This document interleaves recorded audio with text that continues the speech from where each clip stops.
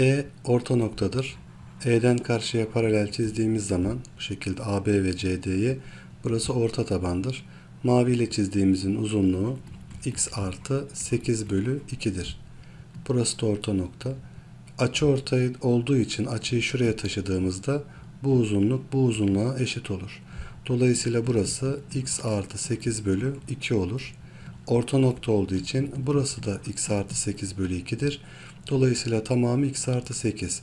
Bunu da toplarsak x artı 8 artı x eşittir 14 olarak verilmiş. Buradan 2x eşittir 6 ve x değeri 3 olarak bulunur.